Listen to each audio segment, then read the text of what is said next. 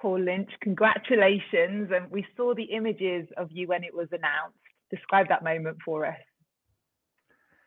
It's it's as though I'd sort of entered into the counterfactual of of my own writing. Um, that I'd, I'd entered into a, a world where um, that the real was no longer quite real. That's how I can describe it. It's just it was surreal and it's extraordinary. And I actually didn't believe that I was going to win. So I was in the room feeling the nerves of the moment, feeling that sort of metamorphic pressure of being in the Booker Prize ceremony.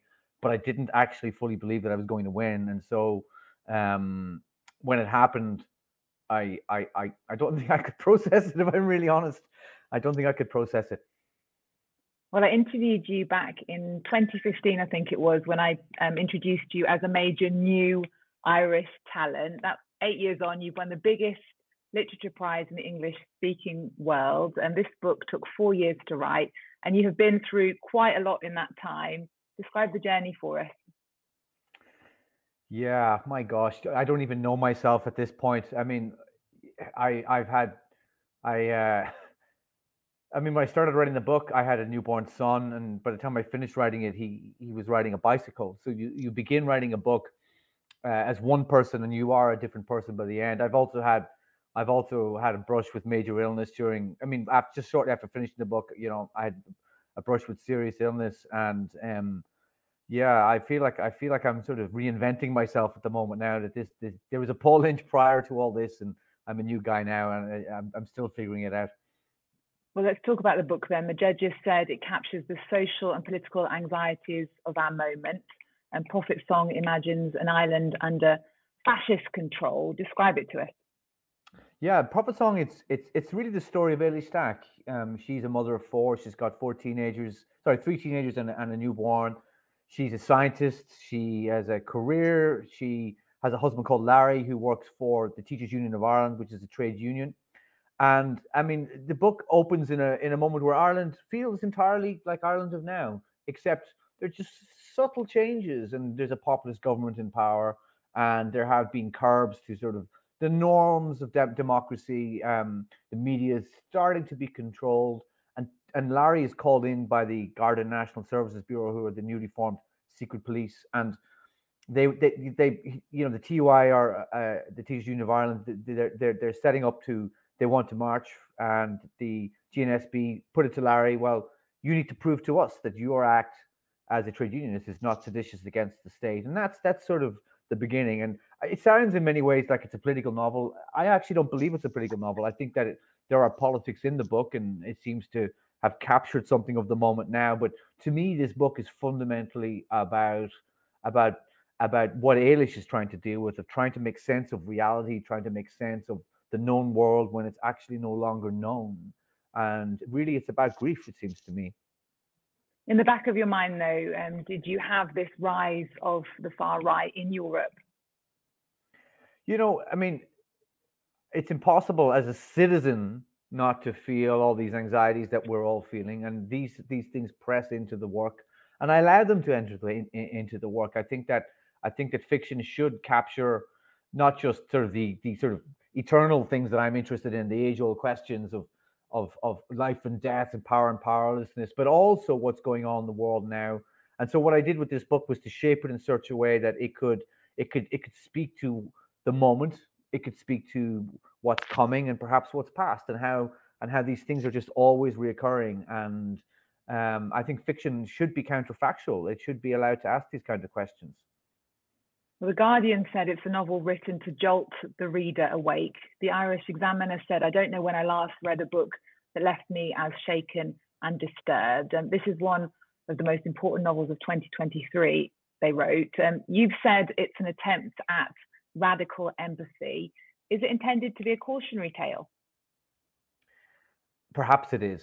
Uh, you know, some people read the book and they, they they like Prophet Song. Ah, he's warning us about you know how what what comes next if if we're not careful. You can read it that way. Some people see it as a simulation of events that other people around the world are going through, and maybe maybe that uh, maybe we can understand that for ourselves. And there is that radical empathy aspect in the book. I wanted to understand for myself, you know, why would somebody take those boats that, that we see on the news? What is it that would make somebody get on that boat? with their kids. I'm a dad. What an extraordinary decision to make. And and for me to answer that question, I I I almost had to write that write the book to understand that because um, I think that we all have a failure of imagination, particularly with the spectacle as we watch the news. We're just bombarded with the spectacle, and that spectacle is in itself a simplicity um, because we're you know we're each a universe to ourselves, and and to enter into into other people and to fully inhabit their world. Fiction can do that, and fiction can bypass the self defenses that we put up as citizens. It just it can really allow us to to truly inhabit another consciousness. And I wanted to to understand these kind of things for myself. And what about um, the riots last week in Ireland, led by far right protesters in Dublin after a stabbing outside of a school? Um, that seems a shocking thing to have happened in Ireland.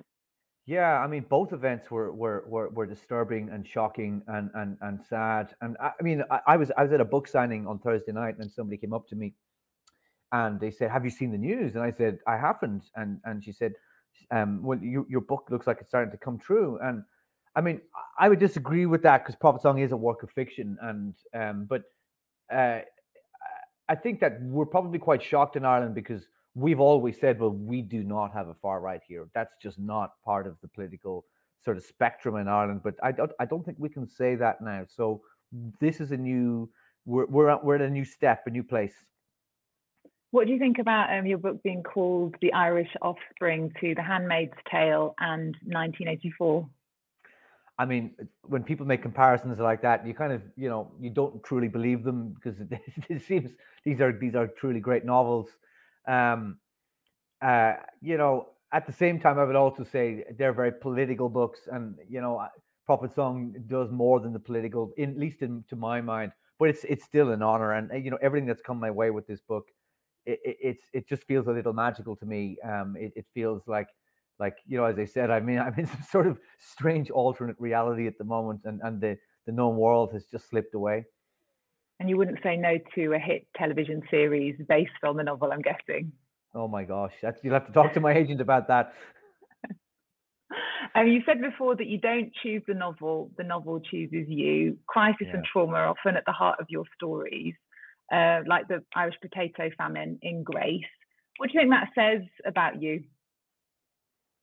Oh, it's just I'm probably just this really difficult, uh, difficult guy who's not happy unless he's he's challenging himself with the most difficult material. I mean, I'm just really interested in as a writer about how we define ourselves as people, because in life the unwanted is always knocking on our door, and we must constantly recon, re, re, you know, uh, recombine ourselves. You know, we're constantly re-encountering who we are and trying to define ourselves by by what the things we must overcome. And we live in a world that's that really, you know, we are these thinking, feeling creatures, but the world that we find ourselves in is this enormous, implacable, cold machine. And, and, and these forces are, are just always beyond us. And all my books are about this one thing meeting the other. You know, we trapped in our lives, trying to make sense of ourselves within this thing that we don't understand fully. And it's like we're all in the labyrinth. And, and, and, and every book, I'm just getting at that every time, just in different ways. And Paul, you're the fifth Irish writer to win the Booker. There were four Irish authors on this year's long list, more than any um, previous year. We know Irish has a rich um, literary tradition, but there seems to be a lot of exciting fiction coming out of the country right now. Why do you think that is? It's a good question. And I think it'll be easy to answer this in 20 or 30 or 50 years' time when there's a sense of perspective. But there's definitely a big energy going on. And it's possibly related to post Celtic Tiger it's related to the fact that we're no longer that sort of old identity of us as a, as a distinctly Catholic country. I would say that culturally we are we are probably post-Catholic. Um, we are very European. We are at that nexus between the states and Britain, and so we're we're a very modern protean country. And I think the writers are tapping into that energy of Ireland being a sort of a very global uh, country now, and no longer that sort of small parochial little pokey place with the you know the cup of tea on the table. I think i think that that that's just gone. And even as a writer you know when i'm writing a prophet song to me that's it, it is in many ways a global novel. It's not it's it's it's it's set in ireland. It's captured in the sort of the universal of ireland but it's it's it's it's reaching into things that are beyond us. And so writers are just tapping into all these energies now and it's a different world. Paul Lynch, fifty thousand pounds of prize money. Any idea what you're going to spend it on? Yeah, I know exactly what I'm going to spend it on. I have a tracker mortgage that's gone up 75% since um since last year. So that's that's sorry, but yeah, you know, half it's spent already on and covering the mortgage for the for the year. You know, it like um I'm like everybody else. I have a, I have a house and a mortgage, and uh, um, you know, it's that's the, the the ECB rate hikes have been very punishing, and it's been very hard.